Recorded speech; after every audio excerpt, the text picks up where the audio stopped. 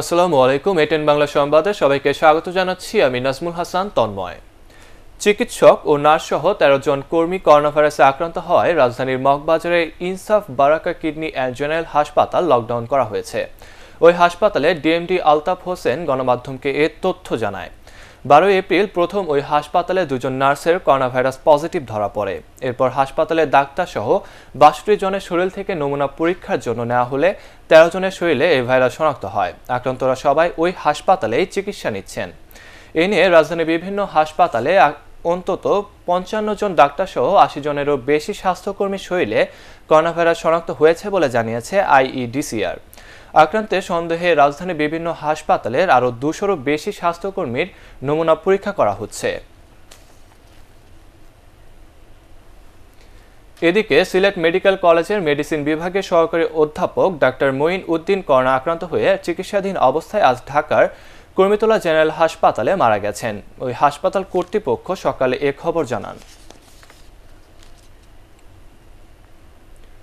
রাজধানীর কুয়েত মৈত্রী হাসপাতালে এক ডাক্তার ও একজন স্বাস্থ্যকর্মীর শরীরে করোনা পজিটিভ ধরা পড়েছে।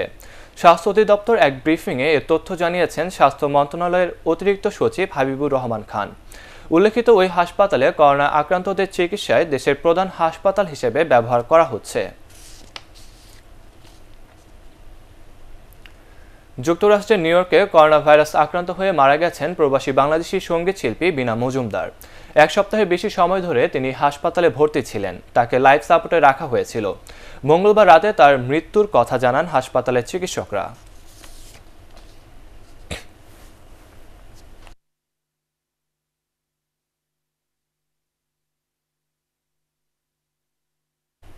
নারায়ণগঞ্জের করোনা ভাইরাসে আক্রান্তের সংখ্যা উদ্বেগজনক হারে বাড়ছে।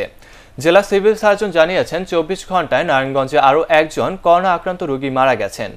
এ নিয়ে জেলায় তেরো জনের মৃত্যু হলো এই ভাইরাসে। নতুন করে আক্রান্ত হয়েছে একচল্লিশ জন।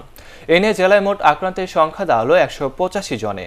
এ পরিস্থিতিতে নগরীর খানপুরে অবস্থিত নারায়ণগঞ্জের তিনশো শয্যা বিশিষ্ট হাসপাতালটি করোনা ভাইরাসে আক্রান্ত রোগীদের চিকিৎসার জন্য প্রস্তুত করা হয়েছে। সেখানে পাঁচজন রোগী ভর্তি হয়েছেন।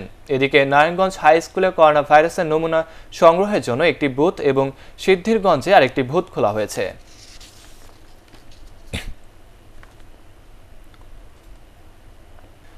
পুলিশের নতুন মহাপরিদর্শক হিসেবে দায়িত্ব নিলেন বেনজির আহমেদ। সকালে গণভবনে প্রধানমন্ত্রী শেখ হাসিনা তাকে আইজিপি র্যাঙ্ক ব্যাচ পরিয়ে দেন।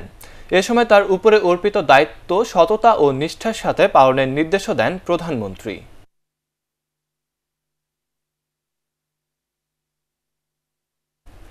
দর্শক, পরবর্তী সংবাদ দেখার আমন্ত্রণ জানিয়ে এখনকার মতো শেষ করছি। সবাই ঘরে থাকুন, নিরাপদে থাকুন। এটেন বাংলা সংবাদ ইউটিউবে দেখতে ব্রাউজ করুন, YouTube slash ATN Bangla news.